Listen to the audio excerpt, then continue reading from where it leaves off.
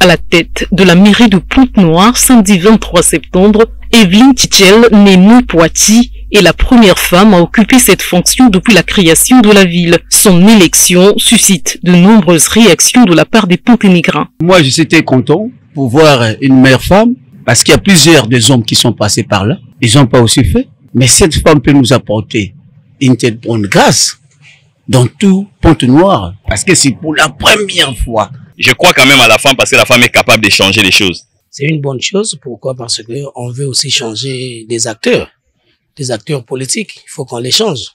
On ne peut pas jamais voir seulement les hommes, les hommes. Mais on doit avoir aussi les capacités de la femme.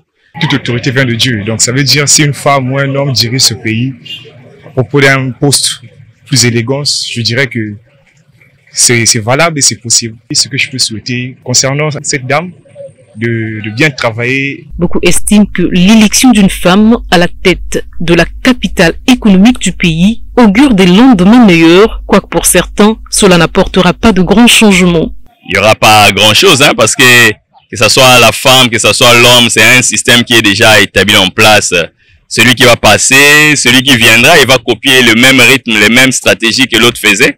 Donc ici, il y a, vraiment, il n'y aura pas de surprise. Je pense pas. La ville de Pointe-Noire souffre de beaucoup de maux et ses populations attendent beaucoup de la nouvelle maire pour redorer son blason. Je veux que le, la nouvelle maire qui arrive, il n'a qu'à arranger d'abord les situations de, de, la circulation, les avenues, les goudrons, beaucoup de choses que la mairie a, la mairie en manque. Tout ce que nous pouvons attendre d'elle, c'est d'améliorer la ville.